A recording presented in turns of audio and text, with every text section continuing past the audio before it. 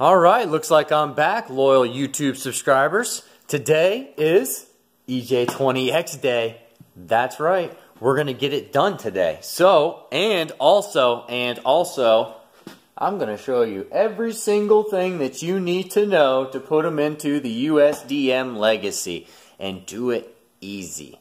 That way, you can get the engine. It's to come in on a pallet. You're able to just take your motor over there the old 2.5 curse, which is already poop glitter, if you've already uh, checked out the last upload. And yeah, we're going to go ahead and swap all the sensors from this over to the EJ20X. Now, this is a 2.5 liter. This is a 2 liter. Yeah, this is this can absolutely be done, and it's going to be easy. So, with that said, yeah, stay tuned.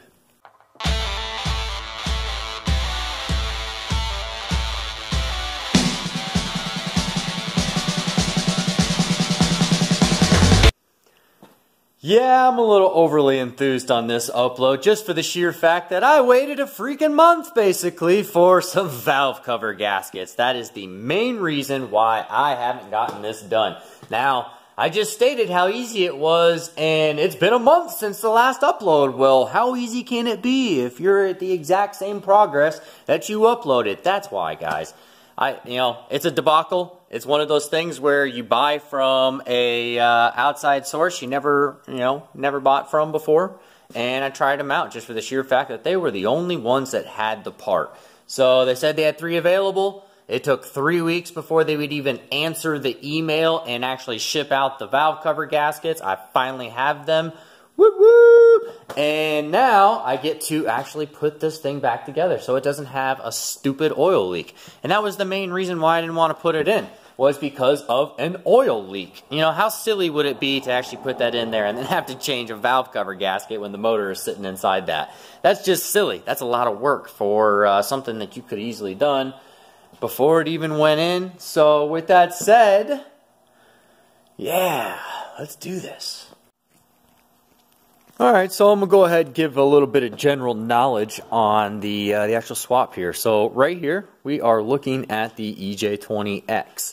Now, the main things that I've actually noticed that are different are number one plug. You come over here, totally different. So that's gonna have to be changed as well. So that's that's one. Pretty simple. You unbolt that, you swap it over here Boom. Bolt comes out, sensor goes on, bolt goes back in. That was easy. And then this tube here. This is your vent tube for the top of the valve cover. That's a little bit different than the actual USDM one, as you can see. Oh, my heater's kicking on real quick. Hold on, let me kick that off real quick. I haven't got my wood stove finished. As you can see, it's kind of buried with lumber over there. I still got to rebuild the outside wall. But back to the EJ20X. So, with that said, um, you can see that the top tube is actually different, but because they actually provided the actual vent tube, I actually don't have to swap that over. So if you end up getting the uh, the long block here without any of the uh, the vent tubes and whatnot, then you will absolutely have to swap over your USDM one in order to fit. Now, um, I see that it you know it's basically you know the only thing that I can see that it might possibly get in the way, but I don't see it happening. Um, it, it seems to be the exact same as the other one. It just this here, this section here, and then this section here, as you can see, is uh, rubber on the other one. It's metal, just this part here. So that's really the only thing that's different. And then that's why that this is shorter because it's actually metal here on that one turn. When in this case, it's rubber. That's, that's literally the only difference I see in that stupid little tube. So because they provided it, I don't have to swap it. And that's awesome. So Moving on to the next thing that I see as different is the PCV valve. Now, this one's actually just got a simple press on, boom, boom. When you come over here, it's actually tapered down to a smaller nipple. So this will actually have to get swapped over as well. And um, yeah, other than that, I mean, it's it's pretty relatively easy as far as having to do this. Your um, normally in JDM engines, you don't get an oil cooler, but this EJ20X actually has an oil cooler on it, which I thought was, you know, thumbs up for me. And so that's one thing that I don't have to swap over, which is a normal thing. That's normality for JDM swap, especially turbo engines. They don't normally have that oil cooler. So that's cool. I don't have to swap that over. Um, we are going to have to swap over the um, water pump. Sorry, drawing a blank there. So I will bring over the water pump just for the sheer fact that that is actually a better pump. Um, the 2.5 is a better pump than the 2.0. And yeah, I mean, it, it's pretty relatively easy as far as unbolting that, unbolting that, swapping it back over, putting it to torque spec, and putting it in sequence. Pretty easy. Um, I tend to put everything to timing before I even remove the belts just to see if the engine will time. And this one was actually off by a couple teeth. I went through a couple investigation. I realized that the tensioner that was on it was gonzo. It was shot. I was able to just push down on the belt and the tensioner would move versus over here I was able to test my theory and the belt don't move and that tensioner don't move. So I knew that that was absolutely wore out. Um, I did a bench test on the piston and it didn't even want to come back out after I put it on the bench or on the vise, I say. And yeah, that was that was a fun ordeal to to see that that's awesome. Good thing I just didn't send it, even though it only has, you know, 25K on this engine, which is amazing. But moving on. So now, um, oil pan. We're going to move on to the bottom. The EJ20X oil pan is actually different than the 2.5. I don't see me having to swap everything over. I actually did some research and realized that this actually has a little bit better oil passage and um, is a lot better actually for pressure as well. So I'm going to go ahead and leave the EJ20X oil pan on versus having to swap everything over. If uh, you do get a long block and it does not have the EJ20X baffles, pickup tube, and uh, you know obviously the pan, you can use the 2.5. Now that absolutely can go over. You can take it off, remove it, remove all the baffles inside, remove your pickup tube and whatnot, and swap everything over. Everything bolts right in place. So that's a good piece of knowledge to know that if you don't have it, you can absolutely swap everything over and then go from there. So now we're going to move over here to this side of the sensor. Now, obviously, guys, these are AVCS pulleys.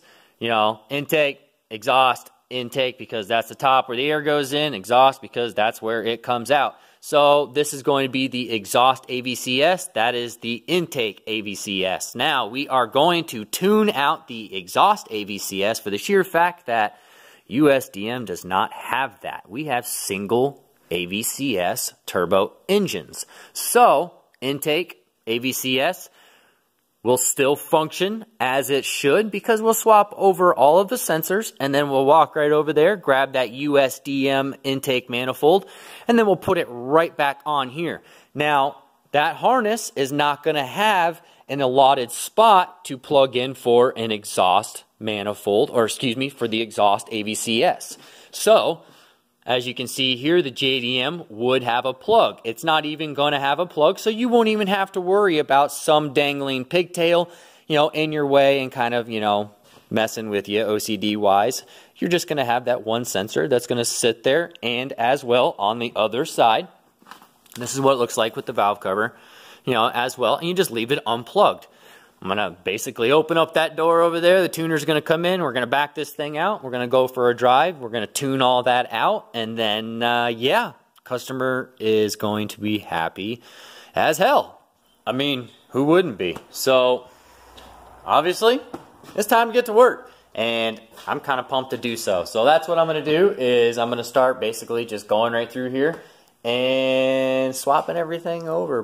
Pretty easy stuff. So with that said, I hope that these tips helped you with uh, you know finishing your own EJ20X project. And of course, this is definitely new to the USDM market. It's something that it, it's pretty new to me. This is actually my first EJ20X swap, so there's really not much knowledge around you know that people are willing to share. I guess because I really can't find too much on it, and the people that I'm asking don't even live in my country. They have their own knowledge because that engine is readily available for them. So I'm glad that uh, we have things like Facebook and I'm able to communicate on a global aspect. So hopefully you know, I got all the right information that I need. Uh, I've done a lot of JDM swaps, and they're, they're pretty easy to do, guys. So don't be scared of jumping into these things and making them USDM worthy so that you can put them in, have the reliability, because these things are a lot better engines than what they provided us. These, you know, they're pretty much race cars over there. They don't really care. You know, it's... Uh, nitrated cranks, forged pistons. You think we're going to get something like that? Absolutely not, unless you buy a freaking STI. So you want to pay the money for that? Then absolutely, that's sure. But this engine right here was shipped to my door for 900 bucks with a 300 uh, or 300 with a 30 day warranty, a leak down test, and only 25,000 original miles. So yeah, it's a glorified EJ20 STI.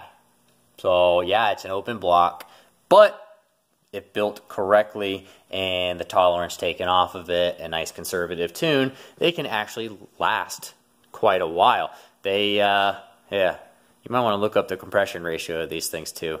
They're pretty nice. So, especially with that said, we're going to do a little bit of modifications to this car. We're going to do the downpipe. We're going to do a larger turbo, you know, and, and, go from there, but nothing too crazy, you know, STI pinks, you know, stuff like that. Just something, you know, relatively easy to drive. You know, it's just an automatic. It's something that he's going to want to enjoy and just boost into it every once in a while. It's a turbo legacy. Of course, you're going to want to put something on it. So we're going to do the exhaust.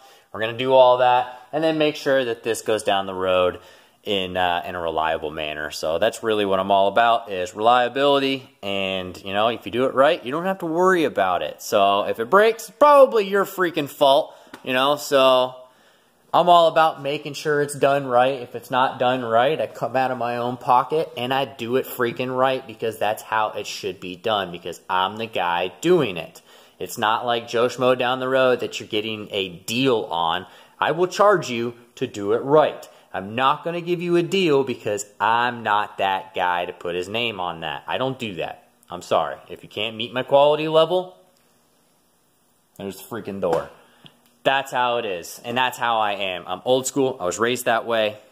There's nothing much you can do about it. Mama didn't raise no freaking fool here. So, with that said, I hate failure. I've learned enough from it. I guess it, it I can't give any more life lessons because you probably don't want to hear it. So with that said, I'm Bill Schneider. This is Rumble Garage. I work on only cars with the stars, Subaru only. Uh, I'm going to go ahead and end that uh, right there. You know, this is part one.